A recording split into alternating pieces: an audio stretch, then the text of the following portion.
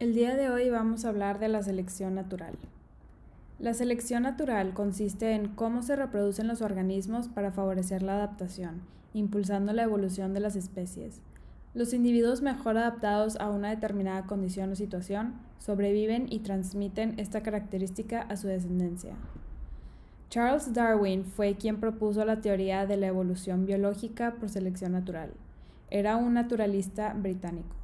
Describió la teoría en su libro El origen de las especies en 1859.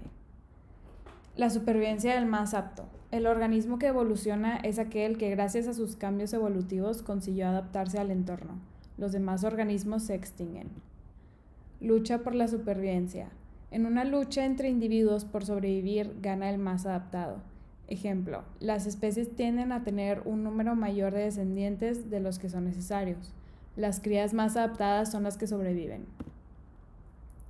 Variaciones heredables. Las distintas variantes que existen entre individuos de una misma especie serán heredadas por la descendencia y pueden ser ventajas adaptivas. Un ejemplo de esto se puede presentar en un conejo de color café con un águila como depredador. Este se podrá camuflajear con la tierra, por lo que tener el pelo café le da una ventaja adaptiva. Reproducción diferencial. Los individuos que tienen mayores ventajas adaptativas tendrán más posibilidades de reproducirse que los que tienen menos. Por ejemplo, en una población de leones, los machos pelean entre ellos y el león que gane podrá reproducirse con las hembras y dejar descendencia.